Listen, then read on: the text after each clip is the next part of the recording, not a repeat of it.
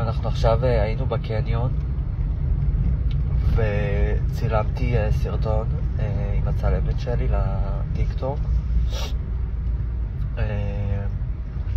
מחוץ לקניון ברחובות.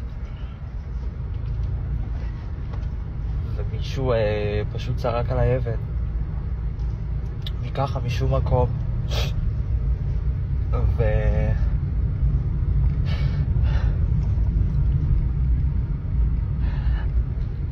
ואני שואל את עצמי באיזה מדינה אנחנו חיים שזה ככה ככה צריכים להיראות החיים שלי שאני צריך לחיות כאילו בפחד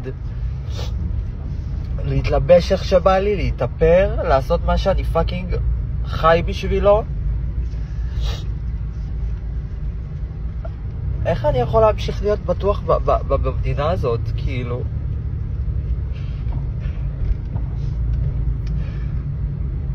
אני לא מאמין שזה, כאילו, שזה קרה עכשיו, כאילו, אני, אני חטפתי התקף חרדה מזה, וכאילו, אני לא יודע מה לעשות עכשיו.